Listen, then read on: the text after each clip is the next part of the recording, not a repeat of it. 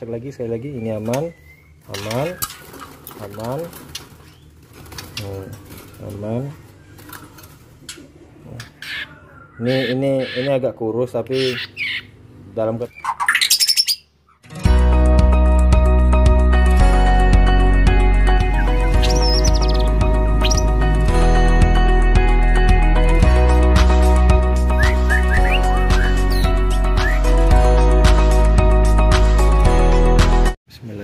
Assalamualaikum warahmatullahi wabarakatuh. Apa kabar semuanya? Kembali lagi di channel Kobe TV Oke di video kali ini kita kembali memantau trotolan Dan di sini ada satu ekor yang sudah mati. Nah, Jadi eh,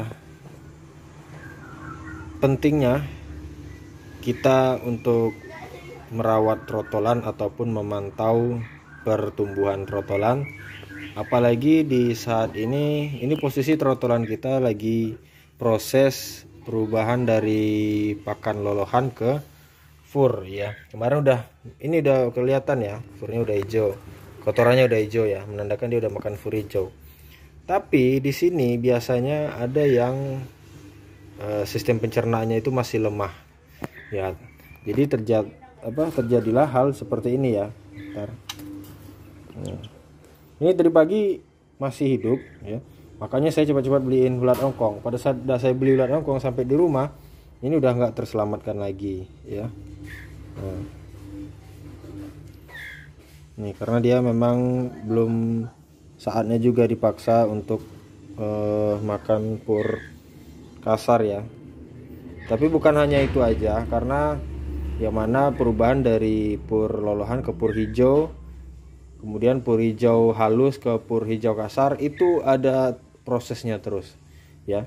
Nah jadi gimana cara menetralisirnya uh, untuk murai-murai batu yang mungkin sudah terlanjur ataupun sudah kejadian seperti ini?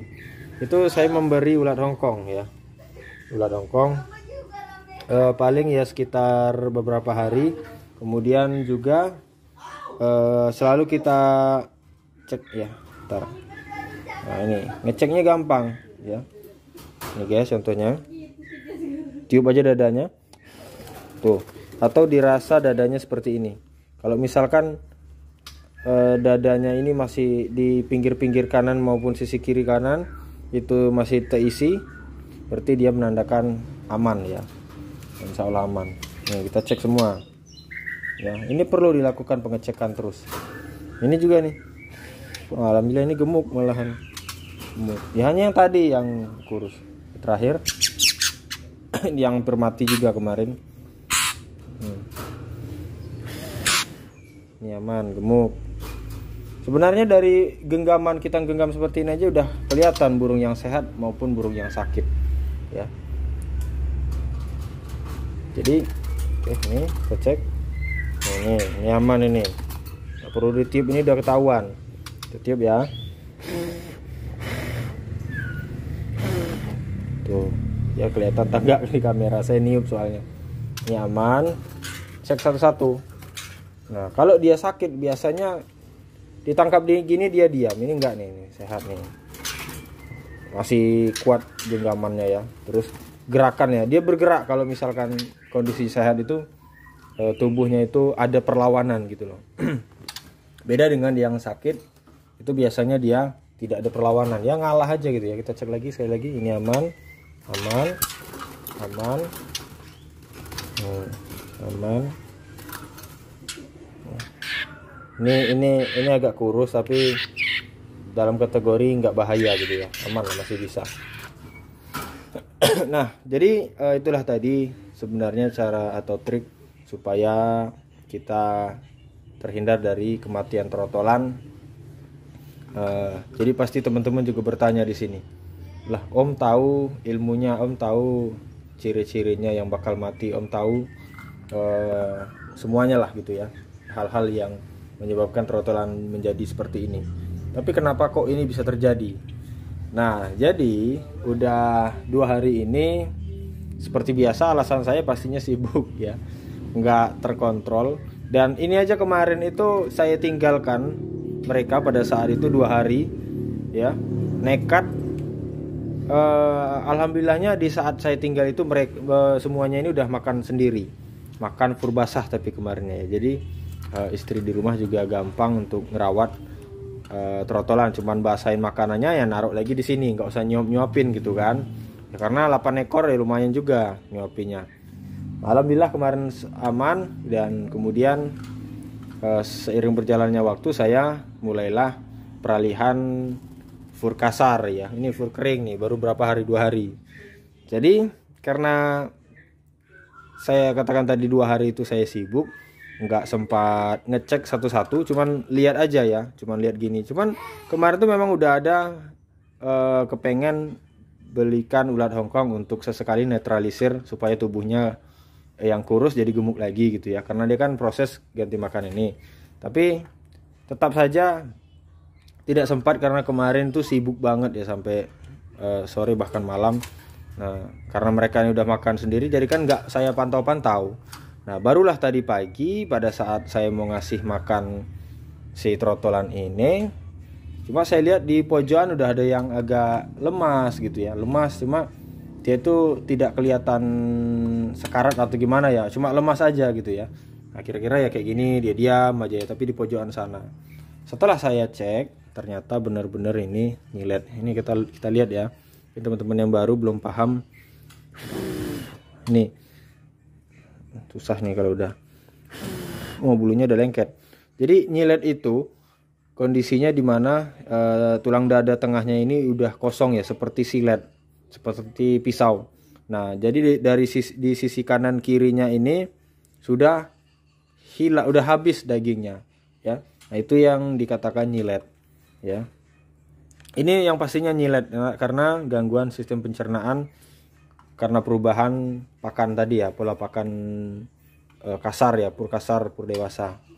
Nah itu. Dan sebenarnya kita juga bisa terlihat dari kotorannya karena ini udah campur banyak trotolan di sini jadi kita tidak bisa ya.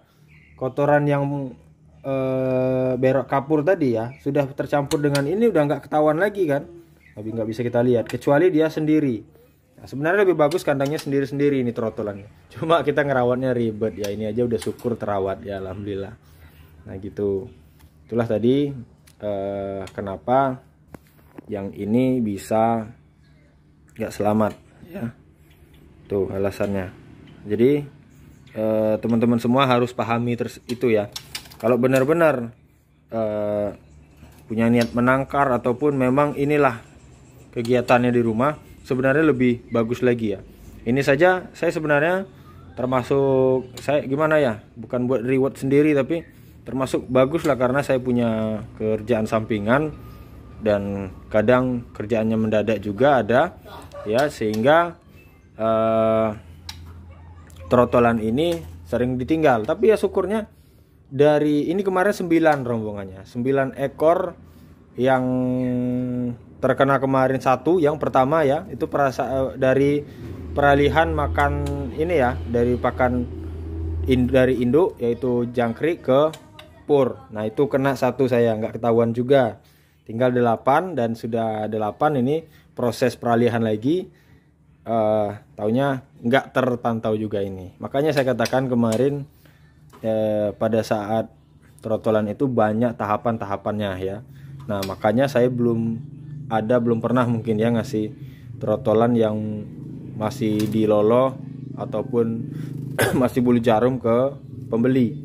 Karena saya tidak mau nanggung resiko ya. Karena apa?